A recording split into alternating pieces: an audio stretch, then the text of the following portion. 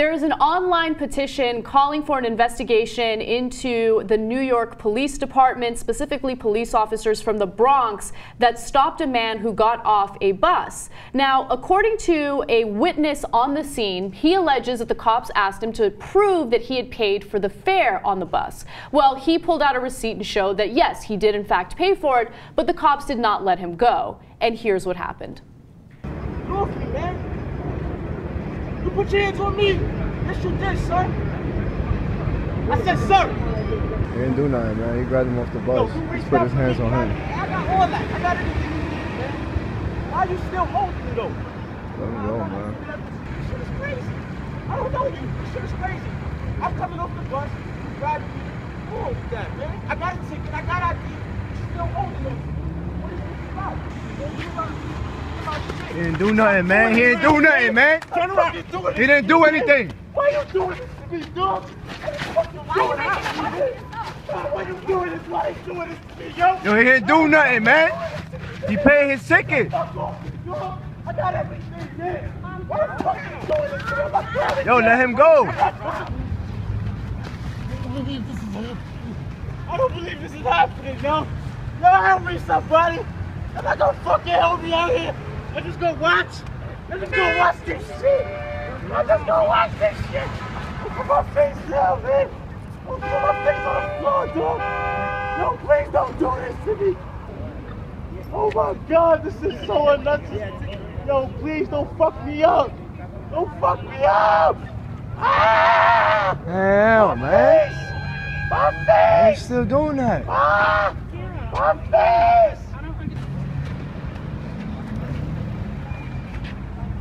So Dario Reyes is the person, uh, the witness who caught that all on camera, and I'm really happy that he posted that on Facebook. It immediately went viral. It got about 40,000 uh, views almost immediately, and that's how the petition came about.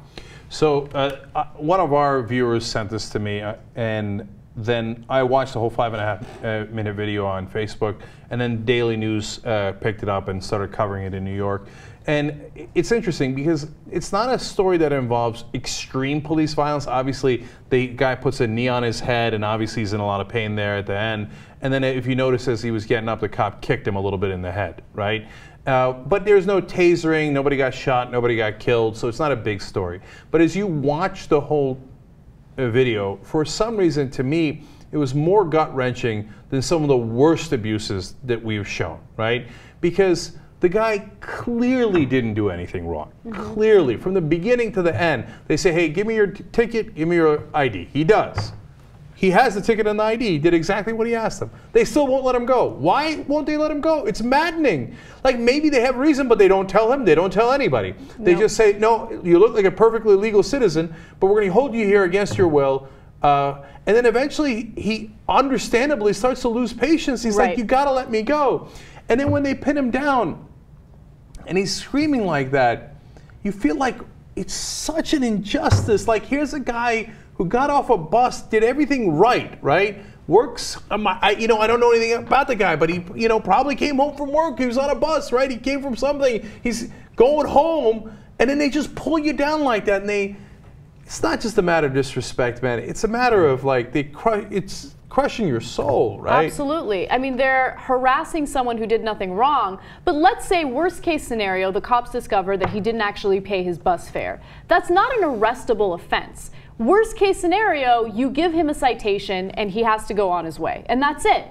But they allowed it to escalate to that point. Now, the cops started getting physical with him as soon as he got up to walk away from them. He had been sitting there asking them what they're doing and why they are holding him down for a while. A few minutes had gone by, and finally he had had enough, so he decided to get up and walk away. But what I find so interesting about this video is it's another example of cops attacking someone that they feel is probably powerless. And in the grand scheme of things, he probably is powerless. But when we have technology on our side and we can record what these cops are doing, well, all of a sudden we can actually defend the powerless, which is why I'm 100% against cops that try to lobby to make sure that we uh, ban people from filming them when they're on duty. It's absolutely wrong. They're paid public employees. We should hold them accountable, and they should be investigated for what happened in that video.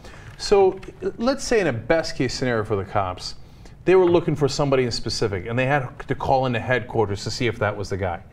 What's the harm in saying that to the guy? Right. So that, look, because remember, it's very likely that he's just a public citizen, like that, and you're supposed to be protecting him, right? From whoever you're looking for, right? That's very likely, right?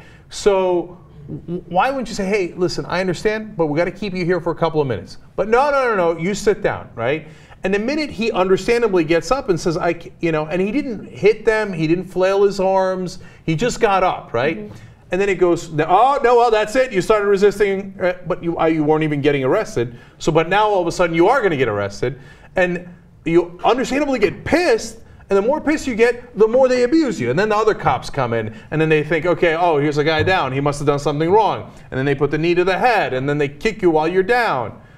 It's just when you see a normal guy like that get abused like that, obviously you think it could happen to anybody, right? And it's maddening, man. It's frustrating. Those guys are supposed to serve us, not attack us. I feel like we come across police brutality stories so often on the show. And I feel bad because I know that there are a number of really great cops out there that, that do protect us, that are ethical, and have real morals when it comes to society and, and serving us. But at the same time, there has to be something fundamentally wrong within local police departments if they think that this type of behavior is acceptable. I mean, they're doing it knowing that Reyes is filming them while they're in the process of this, and they just don't care. They continue on with it. It's unbelievable to me. Uh, Last thing on this is that I, I put myself in his shoes and I kept thinking, what would I do, right? And there's no good answer to that.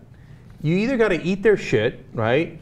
Or you get pounded on and then you get arrested and then they blame you, right? And then you got an arrest record. And they say immediately, what are they going to say? Resisting arrest, right?